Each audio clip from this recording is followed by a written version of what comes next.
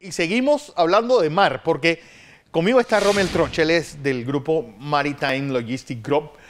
Y obviamente para la industria, el camarón legislativo ese del viernes debe haber sido como un balde de agua fría. Bienvenido, Romel.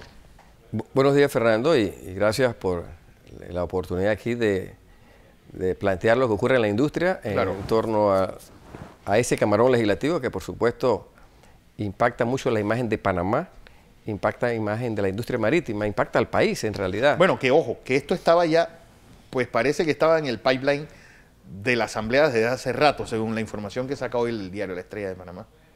Sí, yo entiendo que han habido acciones legales desde hace varios años sobre este tema. Eh, sin embargo, no podemos hablar de los temas legales. No somos abogados, tenemos que hablar del impacto de la industria, ¿Qué ocurre en la industria con este camarón legislativo? ¿Qué ocurre con la imagen de país? Con la estabilidad jurídica, con la seguridad jurídica.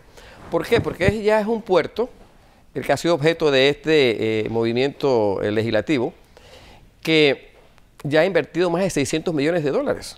Tú pasas por el Puente de las Américas y tú ves 1.150 eh, metros de muelle construido, ves 11 grúas pórticos de última generación y ya ves movimiento importante. De hecho, hay una noticia internacional que circuló recientemente que crea mucha suspicacia en el ambiente, que es lo que ha creado suspicacia y lo he visto ya escrito por allí, que es que Balboa pierde uno de los clientes más grandes que tiene, el segundo más grande, ya se va para el otro puerto, para el de Rotman, para el de Rotman PSA, y además eh, es, un, es, un, es, un, cliente muy importante, es la segunda naviera más grande del mundo.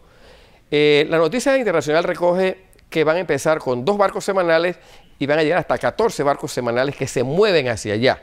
Entonces, pues, eh, se abre otra oportunidad en el Pacífico. Eh, hay que recordar algo, el Pacífico ahora mismo tiene 8 muelles nada más para atender barcos de contenedores. El Atlántico tiene 13.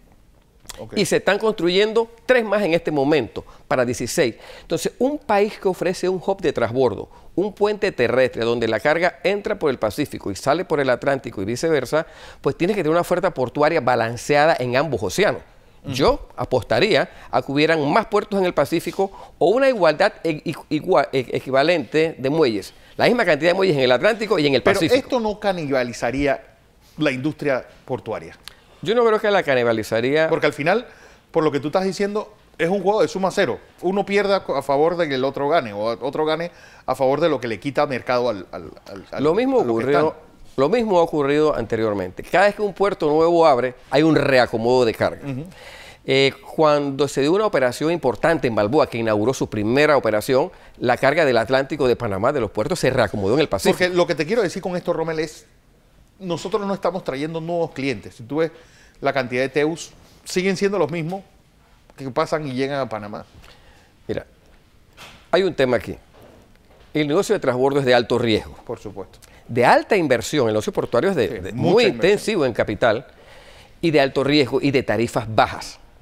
Un contenedor de transbordo paga la mitad que un contenedor local. Entonces, nadie va a invertir una suma de dinero aquí en Panamá 600 millones para un puerto nuevo para ver cómo canibaliza a otro. Eso no tiene sentido desde el punto de vista del negocio. ¿cómo, ¿Cómo se hacer para que entremos en otro circuito, que vengan nuevas rutas, que vengan nuevas marinas, que nuevas navieras se establezcan en Panamá? Porque, por ejemplo, si vemos cuánto han crecido el movimiento de contenedores, por ejemplo, de 2012, 13 hacia acá. Mira, el Pacífico eh, se consideró un cuello de botella por muchos analistas en el sector marítimo, porque no había capacidad portuaria que permitiera. Recuerda que la naviera no viene aquí por un puerto. Claro. El, viene por el concepto de puente terrestre, donde descarga en el Pacífico, usa el ferrocarril o el camión y embarca en el Atlántico. Ese es el flujo mayor.